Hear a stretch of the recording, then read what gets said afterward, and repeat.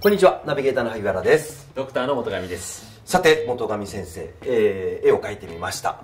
ブツブツでございます。上手ですね。ありがとうございます。このこのブツブツ見るだけでもちょっとなんか撮りたい気分になってました。職業病。はい。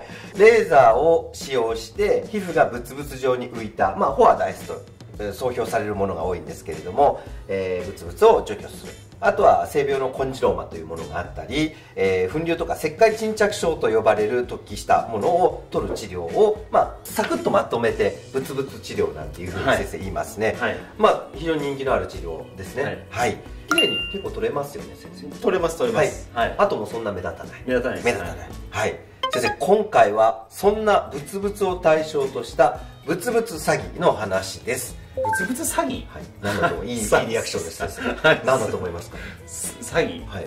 あ撮らなくてもいいものをを撮るとかあなるほどなるほどなるほど。そういうことですか？そうじゃないです。そうじゃないです。か？はい。あの今回はですね相も変わらずぼったくるクリニック、えー略してぼったクリニックの話でございます、あの包茎クリニック詐欺みたいなことはちょいちょいここで発表してますけれども、まあ例えばこういう風な手術方法でやらないと傷跡が非常に目立つからあー汚いよって言って200万ぐらい請求するであるとかあーはいはい。あるいは祈祷相談に来た方にあこれもうどんどんどんどん入っちゃうねって入れますか？入れますよって勝手に治療中に入れていって終わったら100万ぐらい請求されるとかうん。そういうのが横行してますってことを言いましたが結構 YouTube でそういうのを啓発してたらちょっと減ってきたかなっていう感じもなくはないんです。最近そういう他でこうなりましたみたいなのはちょっと減ってきてます、あ確かに。いやそうなんですよ。ね、はい。それはありますね。ね、やってきた意味は結構ありますよね。ね。で手を変え品を変えやってきました。ブツブツ詐欺でございます。何かというとですねはい。ブツブツってまあ大体どのクリニックのサイトも何万円からみたいなことが書いてあります、はい。まあ、3万円からとか5万円からって多いんですね。書いてあること多いんですけれども実は1個あたり3万円1個あたり5万円とか、えごくごく狭い範囲で3万円5万円というケースじゃあこの3個で9万。そういうことです、ええそれぞれの箇所で考えたら、まあ、ブツブツでえらい数があるじゃないですか、はいはいはいはい。い金額になるわけですね。はい。人を全周で考えてもかなりの数ですよね、はい。先生結構細かく細かく取られます。いやもうある方なんて本当に100個ぐらいある可能性ありますありますはい、最低20万から30万円前後。ひどいとまあ780万取られると、まあ、こんだけ数があるんだからしょうがないでしょうって言われると患者さんとしてももう何も言えなくなっちゃうと。で今日やるんだったら安くしますよみたいな割り引いて優しさアピールをするクリニックもあるんですけれどもなんでこんなに先生リテラシーが低いんでしょう？医療リテラシーが低い。ねえそんなん考えもしなかったんですけどね。あの受ける患者様は知らないからしょうがないかなと思うんですがやる側ですよクリニック側。うんこれで100万とか。そうです。あはい。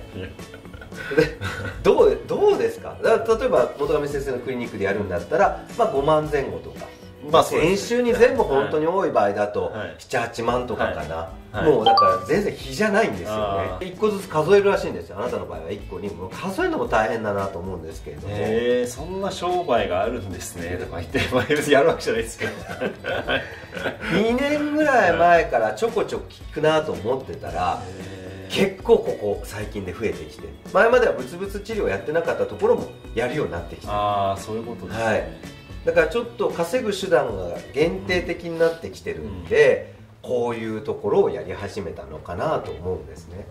うん。でこれって結論になるんですけど自由診療だからもうどうしようもないですか？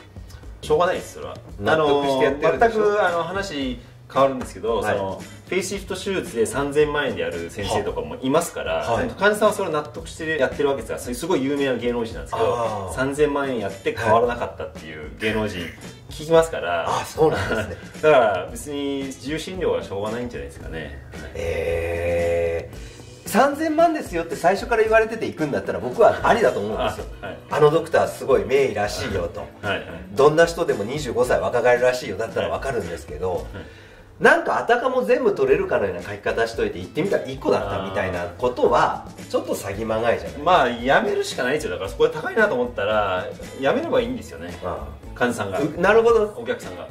受けちゃうんですよね。うんまあそこはこういう動画見てる方で、まあ、まあ勉強して、はい。そういう目に合わないようにするといいと思いますね。はい。はいこれ先生ご存知なかったですか？このブツブツ詐欺このブツブツ詐欺は初めて聞きましたね。あの僕らの一つ上を行きますね。ああそんなことでお金取ってくんの？っていうのが次々出てくるのでまた先生こうやって紹介をしていければと思います。そうですね。はい。これはやばいです。これは金のなる木です本当に。金になる だって1個3万から5万ですもうんんすごいことになりますからそうじゃなくまともにやってる病院はありますからねそうです。はい。ちゃんとしたレーザー使ってやってるとこありますから、はい。ぜひお気をつけてください。あの詐欺には注意してください。ありがとうございました。ありがとうございまし